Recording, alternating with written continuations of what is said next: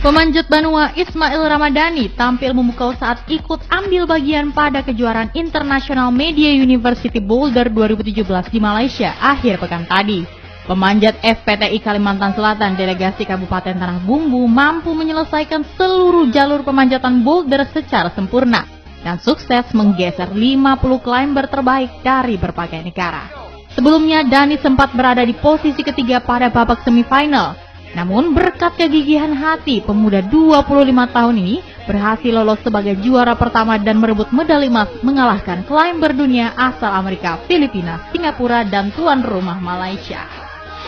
Kemarin juara satu di kategori intermediate men.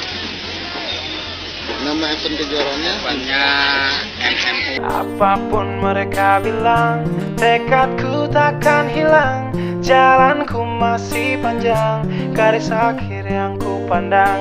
Apa pun mereka bilang, tekadku takkan hilang. Jalanku masih panjang, garis akhir yang ku pandang. Apa pun mereka bilang, tekadku takkan hilang. Jalanku masih panjang, garis akhir yang ku pandang.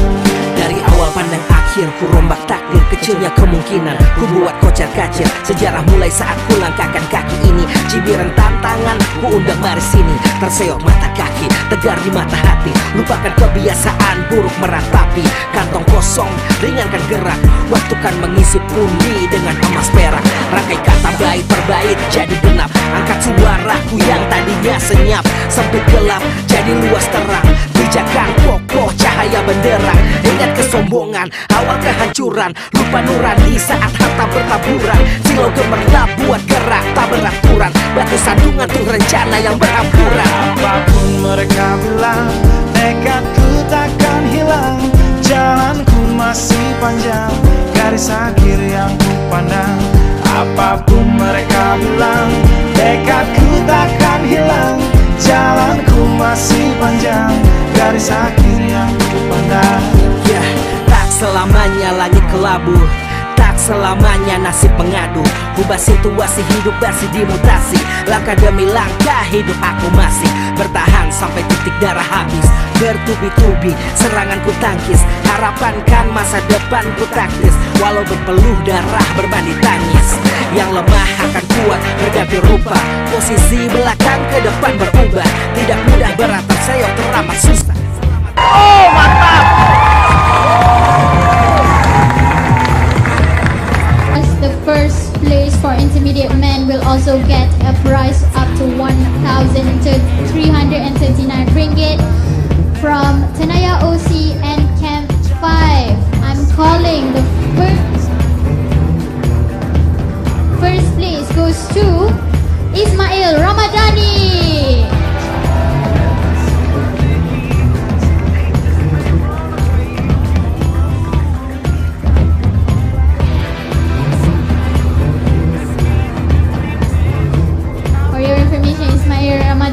from Indonesia. Alright. Ladies and gentlemen, give a big round of applause for your winners.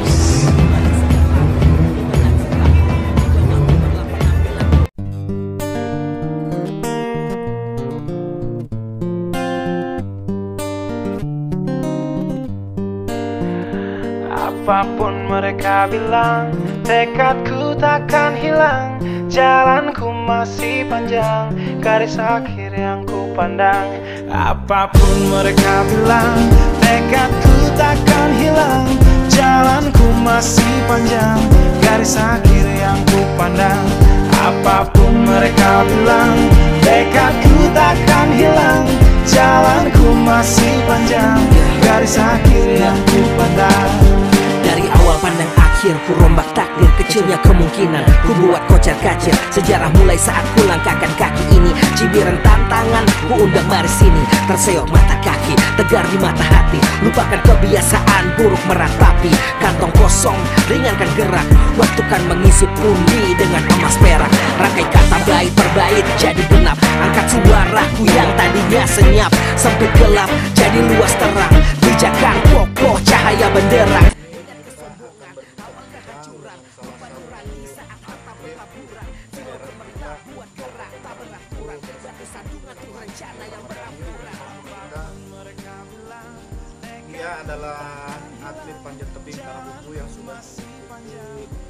panjat internasional di Singapura maupun era eh, internasional maupun nasional.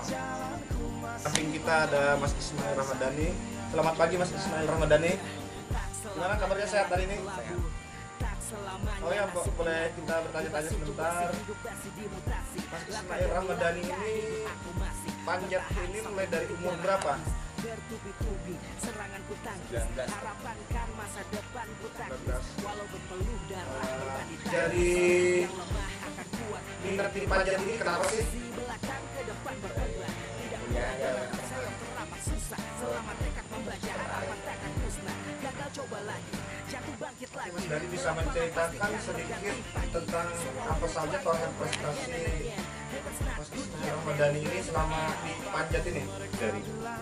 dari lokal maupun nasional atau internasional.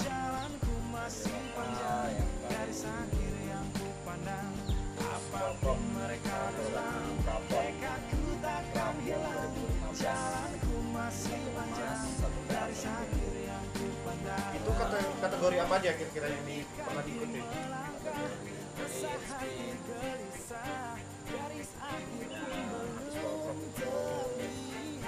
Malaysia Championship Open Kalau nyalit itu tekniknya bagaimana sih? kalau itu ambulan Kalau yang speed itu cepat-cepatan ya? Cepat jadi yang siapa yang paling cepat? Dia yang menang. Kalau kalau boulder jalur jalur pendek. Tapi paling susah kalau itu powernya Nah, selama ini untuk tahapan bikin power seperti Mas Dani ini gimana sih? hari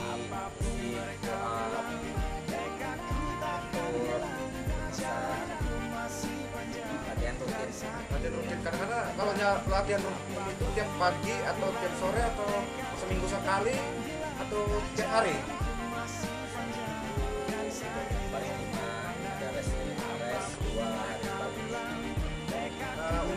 Harapannya apa aja sih ke depannya depan dunia di panjat ini? harapannya ke depan bisa meraih prestasi yang lebih bagus lagi buat generasi yang baru yang banyak belajar menerus selain untuk Polprov 2020 2021 eh, di kandangan nah memiliki fasilitas yang lebih menunjang seperti wall matras tapi alhamdulillah sekarang udah ada boulder udah lumayan torehan prestasi dan mendapatkan beberapa medali ini tentunya Mas Ismail Ramadhani sangat bangga. Terus harapan ke depannya untuk regenerasi yang akan datang gimana? bangga untuk bergenerasi udah mulai dari ke SMP, SMA,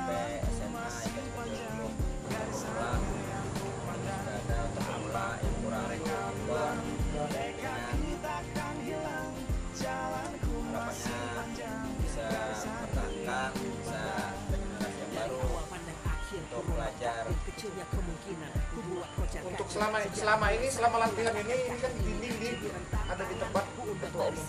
Kadang-kadang Mas Ismail Ramadhani ini latihan sendirian atau sama teman-teman? sendiri karena teman ada teman Thank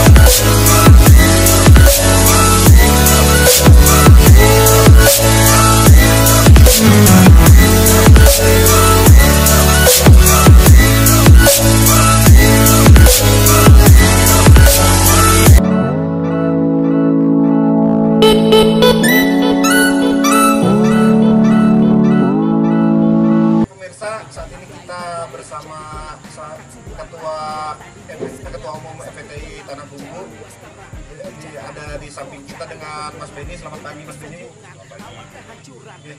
Bisa menceritakan tentang panjat ini Mas Denny. Ada ada berapa orang yang latihan di sini dan mulai dari tingkatan apa saja? di sini kita ada beberapa yang kita punya khususnya spider kid dari SD, SMP dan SMA. Untuk spider kit ini ada berapa orang Mas Beni? Dari pria aja atau wanita?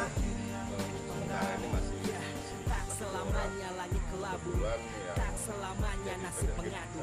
Ubah situasi hidup versi dimutasi Langkah demi langkah hidup aku masih Bertahan sampai titik Oh, darah untuk FPTI Tanah Bumbu ini pernah mengikuti apa saja sih perlombaannya di mana di mana-mana saja? kalau kejuaraan kita sudah mengikuti dari tingkat lokal, nasional maupun internasional. Kebetulan sampai saat ini kita sudah berprestasi di semua cabang dari lokal, nasional maupun internasional. Untuk nasional dan internasional sudah mendapatkan beberapa medali. Mas? Kalau untuk internasional kita sudah ada satu kali di tahun kemarin di Singapura eh, dan Malaysia, Singapura dan Malaysia. Kalau untuk yang di nasional kita ada masuk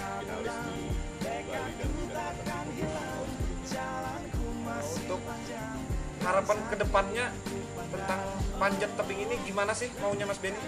Harapannya sih kita eh, mendapatkan perhatian yang lebih maksimal dari pemerintah daerah, khususnya dari daerah Hulu, eh, khususnya bagian fasilitas yang tebing yang standar sesuai dengan standar nasional. Mas Ben, eh, bagaimana kalau ada eh, adik-adik kita yang di luar sana mau latihan ke mana sih tujuannya dan setiap hari apa saja latihannya di sini? Eh, sampai saat ini kita punya dua fasilitas, salah satunya ada di sini di Jalan Kota Merah dan salah satunya lagi ada di eh, Pasar rumah pelatih kita. Kalau untuk jadwal di Kota Merah sendiri itu kita ada setiap hari dari biasanya dari jam 4 sore sampai jam 6 sore. Oke Mas Beni sudah berbincang-bincang dengan kita. Terima kasih banyak. Semoga atlet-atlet kita eh, dapat menoreh prestasi yang lebih baik lagi dan semangat serta minat latihnya lebih tinggi lagi. Terima kasih Mas Beni. Selamat pagi. Apa pun mereka bilang Tekadku takkan hilang Jalanku masih panjang Garis akhir yang ku pandang. Apa pun mereka bilang Tekadku takkan hilang. Jalanku masih panjang Garis akhir yang ku pandang. Apa pun mereka bilang Tekadku takkan hilang. Jalanku masih panjang Garis akhir yang ku pandang. Dari awal pandang akhir ku rombak Kecilnya kemungkinan ku buat kocar kacir. Sejarah mulai saat ku langkahkan kaki ini. Cibiran tantangan ku undang mari sini Terseok mata kaki tegar di mata hati. Lupakan kebiasaan buruk meratapi Kantong kosong ringankan gerak. Waktu kan mengisi pundi dengan emas perak. Rangkai kata bait per bait jadi genap. Angkat suara